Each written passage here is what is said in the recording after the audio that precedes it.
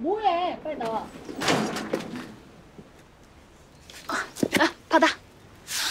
아버지 집에 들어오시기 전에 이거 싹 다 지워놔야 될 거 아니야.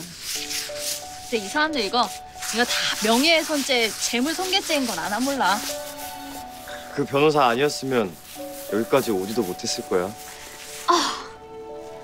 아나 근데 오랜만에 너무 열심히 일했더니 당 떨어졌어. 배고파. 너도 아무것도 안 먹었지?